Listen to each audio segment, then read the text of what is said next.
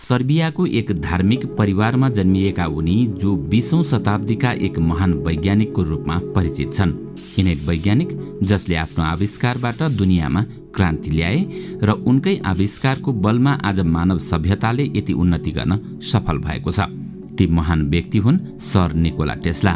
दर्शकवृन्द आउनुहोस् आजको यस श्रृङ्खलामा हामी तिनै महान वैज्ञानिक निकोला टेस्लाको बारेमा केही रोचक तथ्यहरू बताउनेछौँ।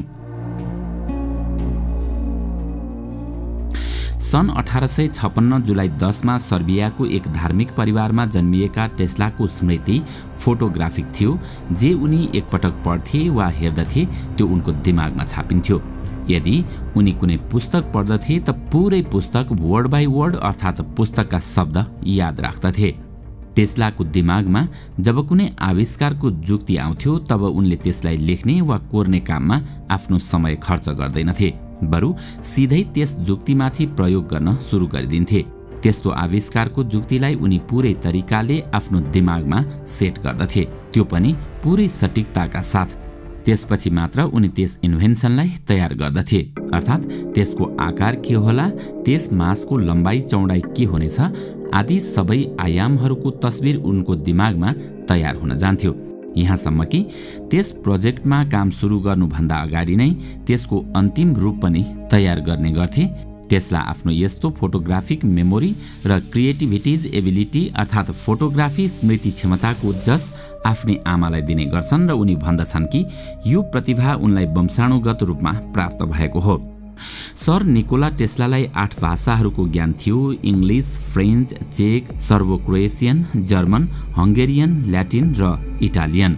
सर निकोला टेस्ला यी सबै भाषाहरू बोल्दथे। स्कुलका दिनहरूमा टेस्ला आफ्नो मस्तिष्कमै गणितका कठिनभन्दा कठिन क्यालकुलेसन अर्थात् गणना गर्नमा सिपालु थिए।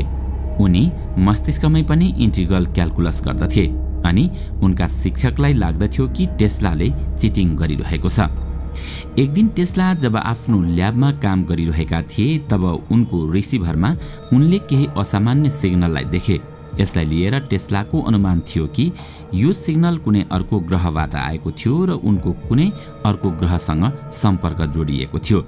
टेस्लाले यस कुराको उल्लेख सन् अठार सय उनान्सयमा एक रिपोर्टरलाई लेखिएको आफ्नो पत्रमा पनि गरेका थिए। सन् उन्नाइस सय चौतिसमा टेस्लाले रिपोर्टरहरूलाई बताएका थिए कि उनले यस्तो महाहतियार विकास गरेका छन् जसले सबै प्रकारका युद्धलाई खतम गरिदिनेछ त्यसलाई डेथ रे भनिन्छ। टेस्लाले बताएका थिए कि यो एक रक्षात्मक हतियार हो। यसलाई देशको सिमानामा राख्न सकिन्छ र शत्रु देशका सेना र एयरक्राफ्टलाई आफ्नो देशभित्र पस्नुभन्दा अगाडि यसले आक्रमण गर्नेछ। तर टेस्लाले आफ्नो जिन्दगीको अवधिमा यस्तो सुपर वेपन अर्थात् महाहतियारले कसरी काम गर्छ यसको बारेमा उनले केही बताएनन्। टेस्लाले आजीवन बिहे गरेनन्। टेस्ला भन्दथे कि उनको ब्रह्मचर्य नै उनको वैज्ञानिक उपलब्धिका कारण हो। पछिल्ला समयमा टेस्लाले एक रिपोर्टरसँग कुरा गर्दै भनेका थिए उनले धेरै पटक यस्तो महसुस गरेका थिए कि बिहे नगरेर उनले विज्ञानका लागि समयदान दिएका थिए। उनका पिता एक पादरी थिए र उनी चाहन्थे कि टेस्ला पनि एक पादरी बनोस् तर टेस्लालाई यसमा कुनै रुचि थिएन। सत्र वर्षको उमेरमा टेस्लालाई हैजा लाग्यो। कतिपटक यस्तो भयो कि उनी मर्दै मर्दै बाँचे। आठदेखि नौ महिनाका लागि उनी केवल ओछ्यानमा नै परिरहे। टेस्लाका पिता जो उनलाई पादरी बनाउन चाहन्थे निराशाका क्षणहरूमा उनले टेस्लासँग बाचा गरे कि उनी यस रोगबाट मुक्त भएमा उनले टेस्लालाई एक राम्रो इन्जिनियरिङ स्कुलमा पठाउनेछन्। टेस्ला स्वस्थ भए र उनका पिताले यो बाचा पुरा गरे। बाल्यकालमा टेस्लालाई उनको जिन्दगीका बितिसकेका घटनाहरूका दृश्य बारम्बार उनका आँखाका सामुन्य आउने गर्दथे। अर्थात् बितिसकेका घटना फिल्मको सरह उनको मस्तिष्कमा चल्दथे। जब दुनियाँ सञ्चारका बारेमा अज्ञात थियो तब त्यसबेला टेस्ला वायरलेस कम्युनिकेसनको कुरा गरिरहेका थिए। उनी आफ्नो समयभन्दा धेरै अगाडिको कल्पनामा हुन्थे। वायरलेस टेक्नोलोजीसँग जोडिएको उनको डिस्कभरीका कारणले नै आज स्मार्टफोनको अस्तित्व सम्भव हुन सकेको हो। टेस्लाले एक रेडियो कन्ट्रोल डुङ्गा बनाएका थिए जुन रिमोटबाट चल्दथ्यो। रेडियो कन्ट्रोल सिस्टममा रेडियोद्वारा ट्रान्समिट गरिएको सिग्नलबाट डिभाइसलाई रिमोटली कन्ट्रोल गर्ने गरिन्थ्यो। अनि टेस्ला यो जुक्ति आफ्ना युएस मिलिटेरीलाई बेच्न चाहन्थे कि उनीहरू यसको उपयोग युद्धमा रेडियो कन्ट्रोल टोर्पिडोका रूपमा गर्न सक्नेछन्। तर युएस मिलिटेरीले यसमा आफ्नो कुनै रुचि देखाएन। पहिलो विश्वयुद्धसम्म रिमोट रेडियो कन्ट्रोलका बारेमा मान्छेहरूलाई धेरै थाहा थिएन र पहिलो विश्वयुद्धपछि जब यसका बारेमा जानकारी भयो तब कति देशहरूले आफ्नो मिलिटरी प्रोग्राममा यसको प्रयोग गर्न सुरु गरे। सन् अठार सय अन्ठानब्बेमा न्युयोर्कमा भएको एक इलेक्ट्रोनिक एक्जिबिसनका बेला टेस्लाले आफ्नो एक रिमोटबाट चल्ने यो डुङ्गालाई मान्छेहरूका सामु लिएर आए। जब त्यहाँ उपस्थित भिडले त्यसलाई देखे त कसैले पनि विश्वास गर्न सकिरहेका थिएनन् र मानिसहरू भन्दै थिए यो कुनै जादु हो या फेरि टेस्लाले कुनै ट्रेन्ड बाँदरलाई डुङ्गामा बसाएका छन्? टेस्लालाई परेवाहरूसँग धेरै गहिरो लगाव थियो। उनको एक सेतो पोथी परेवासँग धेरै प्रेम थियो। यो त्यस्तो प्रेम थियो जुन कोही प्रेमीले आफ्नो प्रेमिकासँग गर्ने गर्दछ। सन् अठार सय चौरासीमा टेस्लाले थोमस अल्वा एडिसनको कम्पनीमा काम गरे। एडिसनले टेस्लालाई अफर गरे कि यदि उनले एडिसनको इन्भेन्सन जेनेरेटिङ डायनोमोलाई मोडिफाई गर्न सके उनलाई पचास हजार डलर दिइनेछ। त्यस समयमा यो धेरै ठुलो रकम थियो। टेस्लाले दिनको सोह्र सोह्र घण्टा काम गरे र एडिसनलाई एक उत्कृष्ट संस्करण बनाएर दिए। पछि टेस्लाले एडिसनको कम्पनी छोडिदिए र आफ्नै कम्पनी स्थापना गरे। भनिन्छ कि एडिसनले टेस्लालाई जुन पचास हजार डलर दिने भनेर बाचा गरेका थिए टेस्लाको यति कडा मेहनत पछि पनि त्यो रकम उनलाई दिइएन र एडिसनले टेस्लालाई हल्का मजाकमै उडाइदिए।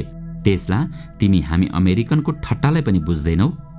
आज हामी आफ्नो दैनिक जिन्दगीमा जुन बिजुलीको उपयोग गरिरहेका छौँ त्यसको जस टेस्लालाई नै जान्छ। टेस्लाले अल्टरनेटिङ करेन्ट सिस्टमलाई दुनियाँका सामु ल्याएका थिए। तर एडिसनले डाइरेक्ट करेन्टलाई नै उत्तम मान्दथे जबकि टेस्ला अल्टरनेटिङ करेन्टलाई। डाइरेक्ट करेन्ट बिजुलीको त्यस प्रवाहलाई भनिन्छ जुन एकै दिशामा बहन्छ अनि डाइरेक्ट बिजुली एक मोटर र बल्बलाई बाल्नका लागि पर्याप्त थियो तर यसबाट लामो दूरीसम्म पावर ट्रान्समिसन गर्न सम्भव थिएन जबकि टेस्लाको सिस्टमको बिजुलीले सधैँ आफ्नो प्रवाह लगातार बदलिरहन्छ। यस्तो सिस्टमबाट टाढा टाढासम्म बिजुली सजिलै पुर्याउन सकिन्थ्यो। टेस्ला थोमस एडिसनका डिसी सिस्टमका गल्तीहरूलाई दुनियाँका सामुन्ने लिएर आए दुवैमा यसले गर्दा धेरै विवाद भएको थियो जसलाई इतिहासमा वार अफ करेन्टको नामले चिनिन्छ। टेस्लाबाट करेन्टमा क्रान्ति भएकोले नै आज दुनियाँमा एसी सिस्टमबाट हरेक घरमा पावर सप्लाई सम्भव भएको छ। प्रत्येक वर्ष टेस्लाको नाममा निकोला टेस्ला पुरस्कार दिइने गरिन्छ। यो पुरस्कार ती इन्भेन्टर्सलाई दिइन्छ जसले इलेक्ट्रिक पावरको जेनेरेसन र न्युट्रलाइजेसनमा मेजर कन्ट्रिब्युसन गरेका छन्। भनिन्छ कि टेस्लाद्वारा तीन सय फरक फरक आविष्कार गरिएका थिए। अर्थात् ती आविष्कारहरूमा टेस्लाको योगदान थियो। टेस्लाको नाममा विश्वका 26 देशहरूमा कम्तीमा पनि दुई सय अठहत्तर प्याटेन्ट टेस्लाको नाममा जारी गरिएका छन्। तर अचम्म लाग्ने कुरा त यो हो कि यति महान इन्भेन्टर भएर पनि टेस्लाले कहिले नोबल पुरस्कार पाएनन्। यस्ता शताब्दी पुरुष महान वैज्ञानिक सर निकोला टेस्ला सन् उन्नाइस सय त्रिचालिस जनवरी सातका दिन न्युयोर्कर होटलको रुम नम्बर तेत्तिस सत्ताइसमा मृत अवस्थामा भेटिएका थिए। आफ्ना अन्तिम दिनहरूमा उनले मान्छेहरूसँग भेट्न एकदमै बन्द गरेका थिए। उनले आफ्नो ढोकामा डु नट डिस्टर्बको चिन्ह लगाएर राखेका थिए। टेस्लाको मृत्युको खबर होटलकी एक महिला कर्मचारीले थाहा पाएकी थिइन्। टेस्लाको शरीर पोस्टमार्टमपछि थाहा भयो कि उनको मृत्यु कोरोनरी थ्रोम्बोसिसबाट भएको थियो। सर निकोला टेस्ला एक महान वैज्ञानिक थिए। उनी वैज्ञानिक प्रतिभाका धनी भए तापनि उनमा सामाजिक र व्यवहारिक कुशलताको अभाव थियो। यसैले उनी कहिल्यै एडिसन जस्तो प्रसिद्ध हुन सकेनन्। दर्शक वृन्द आजको श्रृङ्खला तपाईँलाई कस्तो लाग्यो? हामीलाई कमेन्टमा अवश्य बताउनुहोला। साथै आजको श्रृङ्खला तपाईँलाई राम्रो लाग्यो भने लाइक तथा सेयर गरी हाम्रो च्यानललाई सब्सक्राइब गर्न नभुल्नुहोला। र साथमा रहेको बेल आइकन पनि थिच्नुहोस् ताकि हामीले अपलोड गर्ने नयाँ भिडियोको जानकारी सबैभन्दा पहिला तपाईँलाई प्राप्त होस्। आजका लागि यति नै। अर्को भिडियोमा अझै रोचक तथ्यहरू लिएर आउने नै छौँ। तबसम्मका लागि बिदा दिनुहोस्। नमस्कार।